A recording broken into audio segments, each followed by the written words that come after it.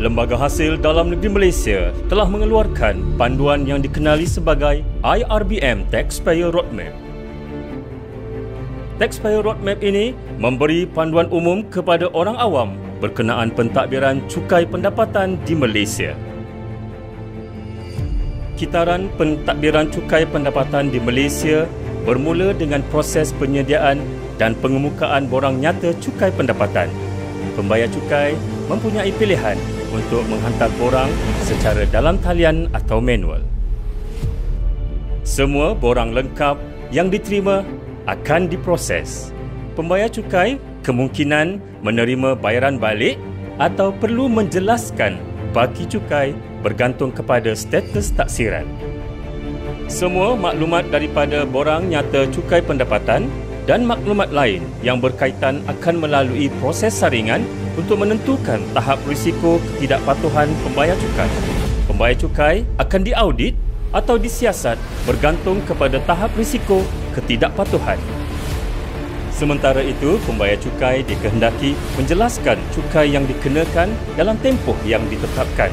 Sekiranya terdapat baki cukai yang perlu dibayar, aktiviti pemungutan akan dijalankan bagi kes yang mempunyai lebihan bayaran, Lembaga Hasil Dalam Negeri Malaysia akan membuat pembayaran balik.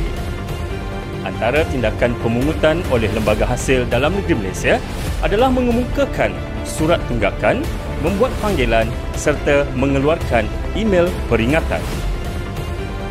Tindakan saman sivil di mahkamah akan diambil terhadap pembayar cukai yang masih gagal menjelaskan tunggakan cukai.